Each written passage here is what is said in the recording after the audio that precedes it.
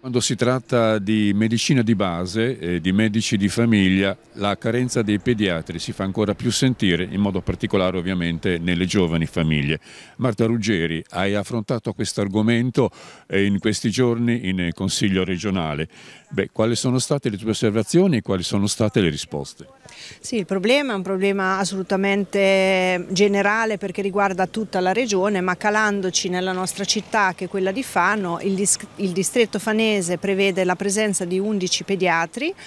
e eh, purtroppo siamo sotto di due perché c'è stato un recentissimo pensionamento del dottor Tonelli e del dottor Bellagamba che sono due colonne portanti della pediatria fanese e i genitori, i giovani genitori si sono visti recapitare una lettera con cui venivano informati che eh, si sarebbero dovuti collegare al sito o recarsi negli uffici dell'AST per cambiare, per cercare un sostituto. Il problema è che eh, con la, appunto la carente programmazione che c'è stata negli anni passati non abbiamo un numero sufficiente di giovani specializzati che possano sostituire pensionamenti. Non nell'immediato però eh, prossimamente, nei prossimi mesi andrà in pensione anche la dottoressa Dami, quindi eh, si creerà un'altra un voragine diciamo, per i giovani assistiti. Ehm, l'assessore Saltamartini ha dato una risposta che secondo me non è soddisfacente perché ha, ha parlato parlato di aumento del massimale di pazienti per ogni pediatra, però siamo già quasi al limite per tutti.